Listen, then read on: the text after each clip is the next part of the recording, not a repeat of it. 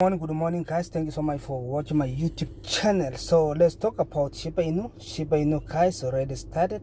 So today is up to uh, yesterday low it's around 14 percent guys. If you missed the last uh, the breakout so the last week we know shiba inu had double top here around 21 cents.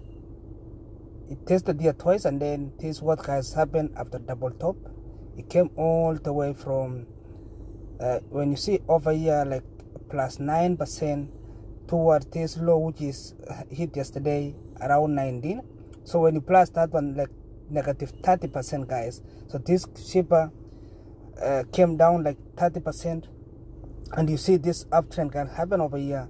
We saw this breakout uh, from this area went all the way to around 50 something 57 percent and guys today is the day to buy i will go to show you the technically and uh, also we see uh, after we have some other here something like a, a double top but i hope you are, you, you are going to we are going to break this area in the last three months. So we have this we have double top and then double double bottom the same thing.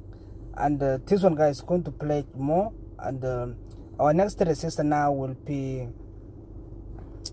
19 cents.